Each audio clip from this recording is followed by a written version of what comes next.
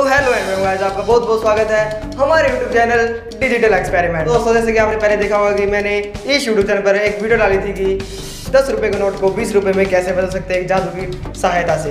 तो दोस्तों, आज उस ही वीडियो का इन्वेस्टिगेशन यानी वो जादू मैंने किस प्रकार किया था, बहुत सारे कमेंट आए कि, सर, बताइए कि ये जादू आपने कैसे किया था? तो वैसा ही आज मैं आपको बताऊँगा कि ये जादू का इन्वेस्टिगेशन यानी ये जादू करके आप अपने दोस्तों क्लासमेट और अपने फ्रेंड्स को दिखा करके उनको बेवकूफ़ बना सकते हैं। तो बने रहे वीडियो में। किस किस प्रकार मैंने जादू किया था आप भी कर सकते हैं। और वीडियो कंटिन्यू बात करते रहिए तो, तो वीडियो को लाइक कर देना हमारे चैनल को सब्सक्राइब कर देना चलो वीडियो को शुरू करते हैं। तो दोस्तों इस जादू को करने के लिए आपको क्या चाहिएगा?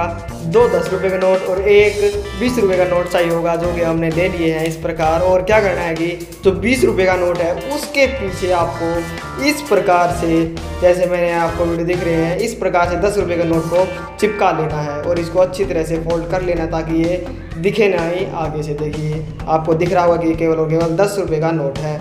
और एक और दस रुपये का नोट इसी पर एक जैसा होना चाहिए, ये हमने ले लिए हैं। और इसके अंदर क्या करेंगे, इस मैजिक बॉक्स के अंदर डाल देंगे। और देखिए आप, ये मैं चौक से एक बार तो मैंने ये डाल दिया, और और ये देखिए, ये डाल दिया। आप देख सकते हैं, आप जादू इस प्रकार होता है।